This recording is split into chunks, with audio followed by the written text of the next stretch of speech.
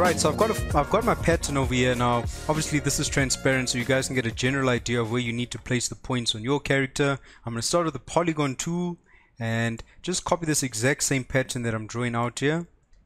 I'm holding down shift to constrain that line to get it nice and straight.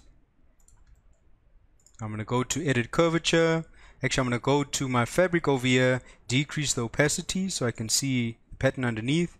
I'm going to go to edit curvature and just follow this line. I'm going to curve this in here as well just so it follows the form and overall shape of the body a little bit better. I'm going to go to my edit pattern, select this middle line, unfold this, select these two dots, delete them, go back to my edit curvature, curve this down, and I'm going to curve the bottom as well a little bit. I can go ahead, select this image that I brought in, delete it, and this is our final pattern. So I'm just going to center that. Now I'm going to right click, go to symmetric pattern with sewing. And this is going to be the back. I'm actually going to go back to my fabric and bring my opacity back up. So I'm going to say flip horizontally. Let's move this behind the character. I'm going to go to my segment sewing. So this onto this. This one to this. This one to this. And this one to this. I'm going to click spacebar and we'll have a basic tank top but we're not done yet. I'm gonna go back to my fabric over here. And you want to make sure your preset is on 20s muslin okay? And now I'm going to go to my edit pattern. Actually no I'm gonna go to the uh, transform pattern select both of these right click go to remove linked editing. Uh, because I actually want to adjust the pattern or the shape of the back of our tank top over here okay and I'm going to select both of these and bring my particle distance down to 10 so I'm going to do that now already. Just so I can see things a little bit better see these folds a little bit better with just higher quality. Now I'm going to go to my edit pattern. Let's select these lines.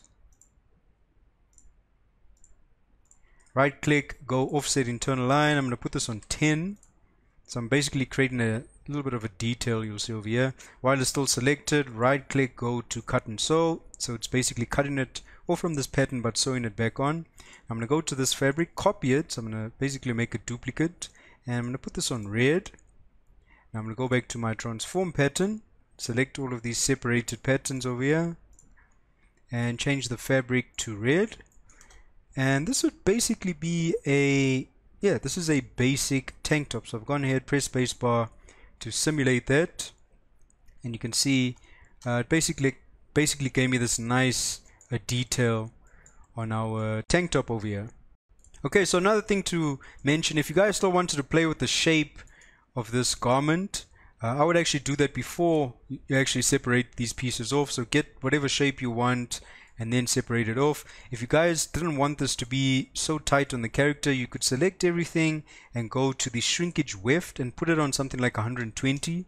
So it kind of makes the fabric a lot more loose and it kind of adds like more fabric onto our garment as well. So you can see there, it's a little bit more loose now and not as tight. So it's completely dependent on what type of uh, tank top you guys are going for. Okay, but that's the basics for creating a tank top. Nice and easy and simple to do. Right, so thanks for watching my tutorials guys and stay tuned for some more tutorials and goodbye.